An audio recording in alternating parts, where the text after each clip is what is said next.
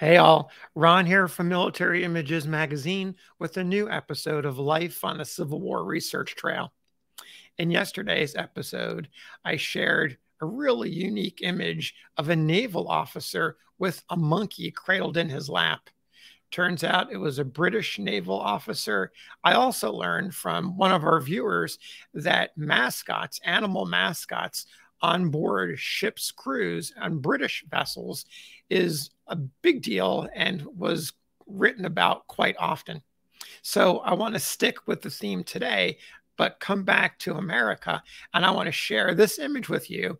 It's another image that I scanned at the recent Ohio Civil War show. This dog sitting in a chair is fascinating. It's a fascinating story behind it. So, to reveal the beginning of that story, let's take a look at what's written on the back of the photograph. You'll see in period pen a little bit towards the bottom half says Fox Wallace, 61st OVI.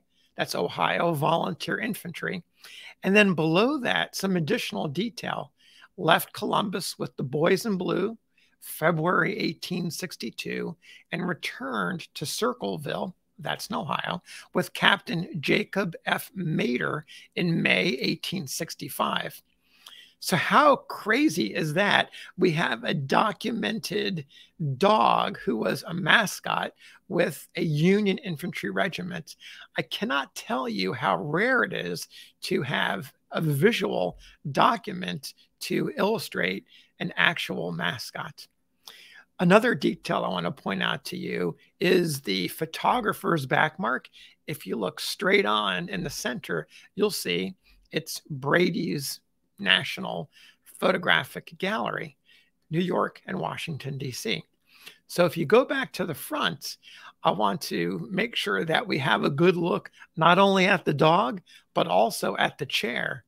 If you look at Mathew Brady portraits from the 1860s in Washington, D.C., you'll see that chair. It pops up quite often.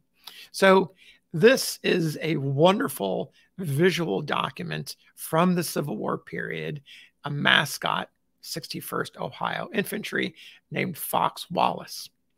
Now, I'll bet you're thinking, you know what would even make this better? Be better if we had an image of the man who was listed on the back, Captain Jacob Mader. Well, here's a surprise. Here he is. Along with the photograph of Fox Wallace came this image of Captain Mader. It's pretty easy to find out information about his life and his military service. In fact, if you go over to Find a Grave, you'll see a copy print of this image is the portrait of Mader. It also includes a transcription of his obituary. So he lived from 1840 to 1922. He was born in Ohio to German immigrants, and part of his obituary provides details about his Civil War service.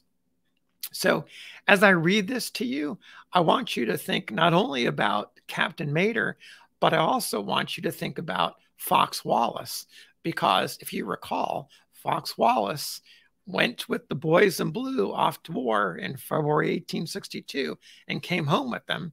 So that means that Fox Wallace and Mader and the other comrades in the 61st, they were all together during the camp and campaigns and battles that the 61st participated in. So as I read this short, relatively short obituary, you'll get a sense of just where Captain Mader was and Fox Wallace. So here we go. February 15th, 1862, he enlisted at Circleville. So there's your connection with the inscription on the back of Fox Wallace's photograph. He enlisted in company uh, company 61st Ohio Volunteer Infantry and was mustered in as 4th duty sergeant. Was commissioned second lieutenant October 9th, 1862. And on October 28, 1863, he was transferred to Company B, which he commanded in the absence of its captain until April 29, 1864, when he was promoted to captain of the company and served as such until he mustered out of service at Goldsboro, North Carolina. On his way home, he stopped at Washington, D.C. This may explain the Brady photographs and was in Ford's Theater on the night of April 14th, 1865, when President Lincoln was assassinated. So it's a crazy thought. I don't know if dogs were allowed in the theater, but is it possible that Fox Wallace and Captain Mader bore witness to the assassination of Lincoln? Don't know. Let me continue with the obituary record. He veteranized, now we're getting back to Captain Mader, he veteranized at, in, uh, in Tennessee in January 1864. He was slightly wounded at the Second Battle of Bull Run and also at Peachtree Creek. He was engaged in the battles of Cedar Mountain, Freeman's Ford, White Sulphur Springs, Waterloo Bridge, Second Bull Run, Chancellorsville, Gettysburg, Hagerstown, Wauhatchie, Lookout Mountain, Missionary Ridge, Ringgold, Knoxville, and those of his regiment were in the Atlanta Campaign, March to the Sea, Campaign of the Carolinas. He was a member of the Loyal Legion and also of the Hazlet Post, Grand Army of the Republic at Zanesville, Ohio. So that list of battles and campaigns, Mader was there, and you know, Fox Wallace was also there. I'm going to give you a little bit more detail about Mader from his obituary with the flag of his country for which he fought during the Civil War shrouding the casket in which he slept. The body was borne to Forest Cemetery Friday afternoon and consigned to earth beside that of his wife and two of his children. Reverend David McDonald of St. Philip's Episcopal Church officiated. Mr. and Mrs. Carlisle Moffat of Columbus sang, Life at Oley Speaks. Reverend McDonald read the favorite hymn of the deceased nearer my God to thee. So there you have the story of Captain Jacob Mader and his faithful companion and mascot of the 61st Ohio Infantry, Fox Wallace.